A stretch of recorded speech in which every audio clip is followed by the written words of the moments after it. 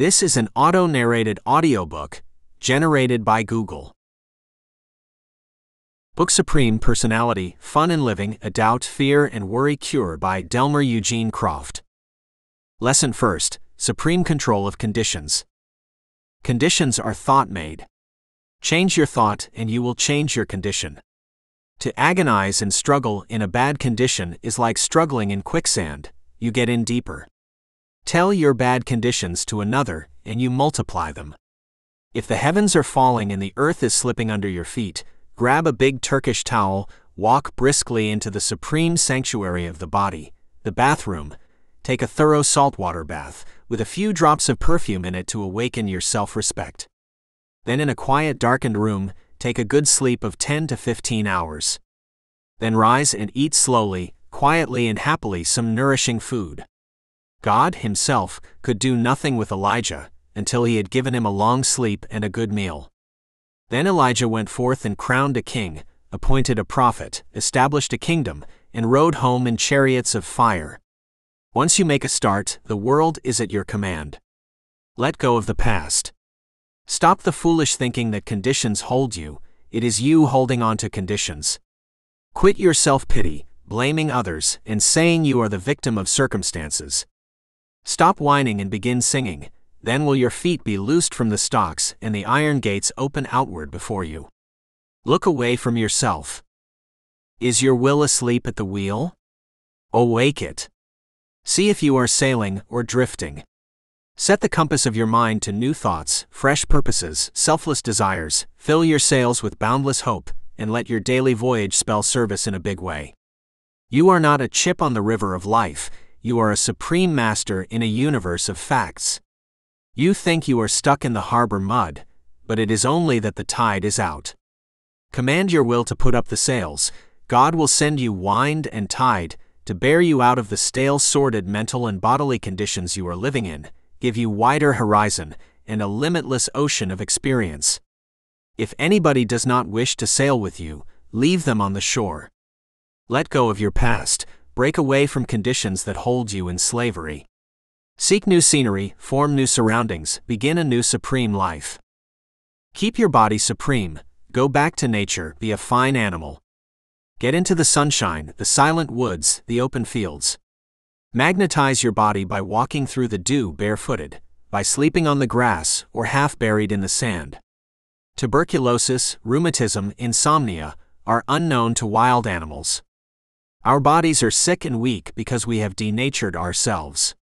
Make friends of the wild animals, they will teach you how to keep well. They have not a single case of nervous prostration in all their vast forest home. Learn to relax. Drop your tension and you check confusion. Stop a few minutes sometime in the day and quiet your nerves, rest your muscles, calm your senses, soothe your thoughts somewhere in the sunshine or under the shade of an old apple tree.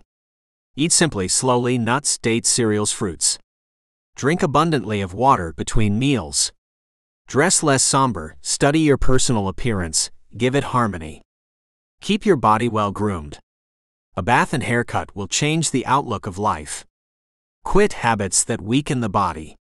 Never talk about your bodily weakness, illness, or condition, nor listen to those of others. Criticize your body and it will fail you. Praise your body and it will serve you. Take air baths, cold water plunges, or cold water sponges every morning. Fix your mind upon having a sound and energized body, and you will attract it.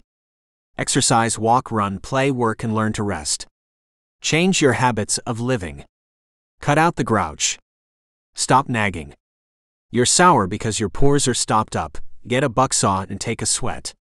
You're morbidly blue because your solar plexus has gone to sleep, give it half an hour of internal vibration. Don't knock the weather, like it, get into it, let it put iron into your blood. Plunge into a storm, it will act as tonic on your spirit. A dip in the ocean will add magnetism to your body.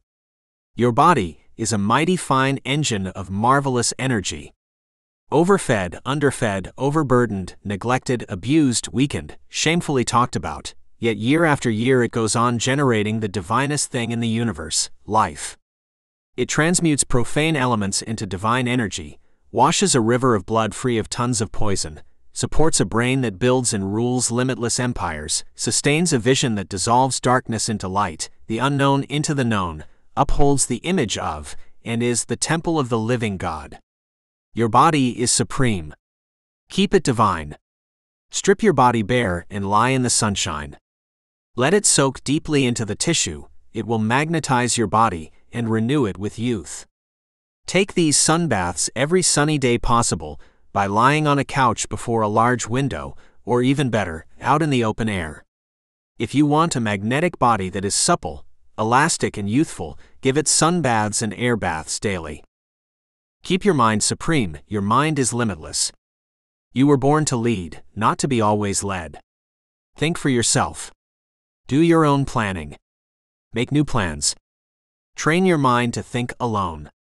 Misery is rust on a mind that has stopped working. Train your mind to delight people. Don't follow the crowd, but step softly among human hearts. Train your mind to think big. Expand your mind until it encircles the universe. Stop fussing over little things, over useless people, and fill your mind with new ideals and fresh purpose. Stop wailing over flowers that will never blossom on the north side of your house. Go around to the south side and make a new garden.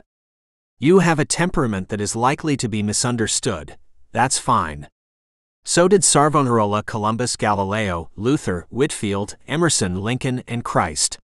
Seven cities fought for Homer dead, through whose streets the living Homer begged his bread. The reputation of Christ was just the opposite of his character.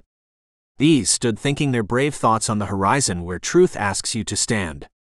You are better than you think, or as good. You are the sum total of your thinking.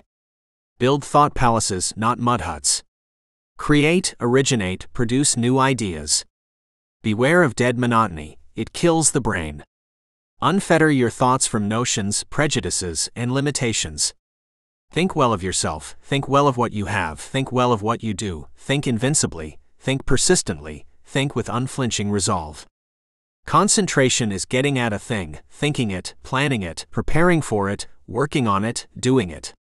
Your conditions, mental, physical, financial, are thought made. Fill your mind with different thoughts and you will have different conditions. Thought gathers around you the things you want. When you stop thinking of them, they pass away. Thoughts are seeds, they produce after their kind. A little thought will shake off useless conditions and confused environment. Think some fun into your daily events. Don't be over serious, it breeds disease germs, just as anger and hate thoughts induce cancer, tumor, and liver troubles. Start a hurricane of jollity. Break loose in a thunderstorm of mirth, it will clear the atmosphere under a roof, just as a thunderstorm clears the air over the roof. On the other hand, there is a season to weep. Never smother your emotion, to choke it back stifles the heart. Lift the floodgates and let your tears water the garden of your heart. Be renewed in the spirit of your mind. That is the life. Be renewed every morning, for each day is a new life, a fresh world, the beginning of eternity. Think your thought created enemies into thought created friends. Think your thought created suspicions into thought created confidences. Thought has drawn you into your conditions, it will pull you out. Your soul, your mind, your body cannot become ugly, useless, imprisoned so long as you think supreme harmony, dominion, and love. Thought makes your body a hovel, your mind a madhouse, or thought makes your body a temple, and your mind a shrine where angels commune with you. Environment, conditions, circumstances are not your masters, they are materials out of which thought makes the beautiful mosaics of character. Light the candle of a new thought and diligently sweep every corner of your mind, and you shall find the rare treasure happiness. Put fun into your thinking. Do not take yourself so serious, put the red blood of mirth into your daily thinking. Keep your will supreme, your will is divine energy, therefore it is a supreme power. Christ said, Be it unto thee even as thou. wilt." We hope you enjoyed this preview. To continue listening to this audiobook on Google Play Books, use the link in the video description.